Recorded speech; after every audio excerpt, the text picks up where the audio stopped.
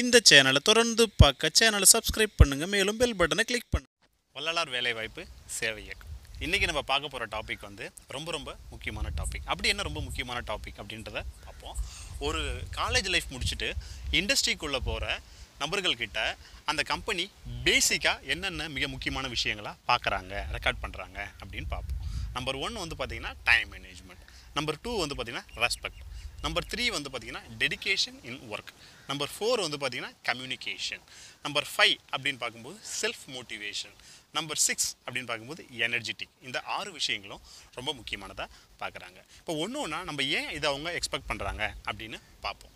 Time மேனேஜ்மெண்ட்டை பொறுத்த வரைக்கும் நமக்கு ஒரு ஒர்க் லோட் கொடுக்குறாங்க அப்படின்னா அந்த ஒர்க்கை வந்து பார்த்திங்கன்னா அவங்க சில டைமிங் வச்சு தான் கொடுத்துருப்பாங்க. எல்லா கம்பெனிலையும் பார்த்தீங்கன்னா ஷிஃப்ட்டுன்றது இருக்கும். இப்போ ஒரு எக்ஸாம்பிள் வந்து நைன் டு சிக்ஸ் நடுவில் பார்த்தீங்கன்னா பிரேக் டைம் இருக்கும் லஞ்ச் டைம் இருக்கும். இந்த காலையில் ஒம்பது மணிக்கு உங்கள் ஒர்க்கை அலாட் பண்ணுறதுக்கு ஒரு பாஸ் உங்ககிட்ட வருவார். அந்த ஒர்க்கை எல்லாம் அலாட் பண்ணிவிட்டு போயிடுவார். இது எவ்வளோ நேரத்தில் முடிக்கணும் அப்படின்றதையும் சொல்லிட்டு போயிடுவார். அப்போ அந்த ஆறு மணிக்கு வரைக்கும் உங்களுக்கான ஒர்க் லோடுன்றது அலாட் பண்ணப்படுது காலையில் ஒம்பது மணிக்கு. ஸோ அந்த டைமில் நீங்கள் கரெக்டாக வந்து உங்கள் பயோமெட்ரிக்லாம் வச்சுட்டு அட்டனன்ஸ்லாம் சைன் பண்ணிட்டு வந்து ரீச் ஆகிடணும் அப்படி ரீச் பண்ணால் மட்டும்தான் அந்த கம்பெனியோட வேலையை நம்ம தொடர்ந்து பார்க்க முடியும். நம்பர் டூ ரெஸ்பெக்ட் அப்படின்னு பார்த்தோம். இந்த ரெஸ்பெக்ட் ஏன் முக்கியமாக பார்க்குறாங்க அப்படின்னா இட்ஸ் எல்லாம் ப்ரொஃபஷனல் ஒரு ஆர்கனைசேஷன் வரும்போது எல்லாமே ப்ரொஃபஷ்னலாக மாறிடுது. உங்களுக்கு மேலே இருக்கிற பாஸ் ஆகட்டும் உங்களுக்கு ஈக்குவலாக ஒர்க் பண்ணுற கொலிக் ஆகட்டும் உங்களுக்கு கீழே ஒர்க் பண்ணுற சபார்டினேட்டராக ஆகட்டும். இங்கே எல்லாருக்குமே மரியாதைன்றது ரொம்ப தேவைப்படுது. ஏன்னா இங்கே எல்லாமே professionalism good morning sir good evening sir good afternoon sir okay sir நான் பார்த்துக்கிறேன் சார் சரி சார் நான் இந்த ஒர்க்கை என்ன என் என்னால் முடிக்க முடியும் சார் இந்த இடத்துல எல்லாமே ரெஸ்பெக்டாக மாறுது. Number three dedication in work dedication அப்படின்றது என்ன அப்படின்னு பார்த்தோன்னா நமக்கு ஒரு ஒர்க்கை கொடுக்கும்போது நம்மளோட கான்சன்ட்ரேஷன் வேறு எங்கேயுமே சிதறாமல் அந்த ஒர்க்கை நம்ம கம்ப்ளீட் பண்ணுறதுக்கு நம்ம போடுற எஃபெக்ட்டு அதில் நம்மளோட கான்சன்ட்ரேஷன் இதுதான் வந்து டெடிகேஷன் ஒரு ஒர்க்கை இவன் டெடிகேஷனாக பண்ணுவான்டா இவன்கிட்ட கொடுத்தா எவ்வளோ கேட்கறதுக்கு சந்தோஷமாக இருக்குது பாருங்களேன். இப்போ அந்த டெடிகேஷன்றது ப்ரொஃபஷனல் லைஃப்குள்ளே ரொம்ப ரொம்ப முக்கியமானதாகவும் மாறுது. அடுத்து நாலாவது பாயிண்ட் பார்க்க போனோம்னா கம்யூனிகேஷன் இந்த கம்யூனிகேஷன் வந்து பார்த்தீங்கன்னா உங்களை ஒரு படி மேலேயே கொண்டு வந்து போகும் அப்படின்னு சொல்லலாம். ஏன் இந்த கம்யூனிகேஷன் அவ்வளோ முக்கியம் அப்படின்னு கேட்டால் ரெண்டு விஷயம் இருக்குது இண்டஸ்ட்ரிக்குள்ளார ஒன்று வந்து நம்ம ஒரு இன்ஃபர்மேஷனை புரிஞ்சுக்கிறதாகட்டும் அவங்களுக்கு திருப்பி பதில் சொல்கிறதாகவும் ஆகட்டும்.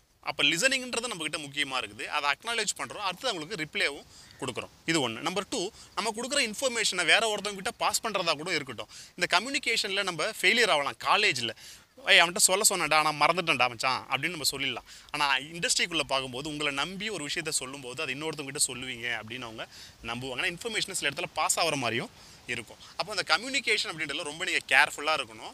அப்போ தான் உங்களோட அடுத்த கட்ட வளர்ச்சிக்கு உங்களால் முடியும்.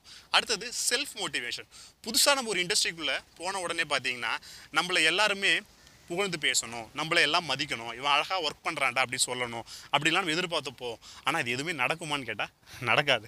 ஏன்னா அங்கே ஆல்ரெடி ஒர்க் பண்ணுறவங்கலாம் சீனியர்ஸாக இருப்பாங்க. அந்த ஃபீல்டில் எக்ஸ்பீரியன்ஸ்டாகவும் இருப்பாங்க. அப்போது அவங்க அளவுக்கு உங்ககிட்ட நாலேஜ் இருக்கணும்னு எதிர்பார்ப்பாங்க. ஆனால் அது இருக்குமான்னு கேட்டால் இல்லை. ஏன்னா நம்ம ஃப்ரெஷர்ஸ் அப்போது நாலேஜை நம்ம கெயின் பண்ணிக்கிட்டே இருக்கும்போது நம்ம எதாவது தப்பு சொல்லும்போது கண்டிப்பாக நம்மளால் முடியும் அப்படின்ற கான்ஃபிடென்ட் நமக்குள்ளார வரணும். அப்போ தான் நம்மளால் அந்த ஒர்க்கை இன்னும் டெடிக்கேட்டிவாக எனர்ஜெட்டிக்காக பார்த்து அந்த அவுட்புட்டை கொடுக்க முடியும்.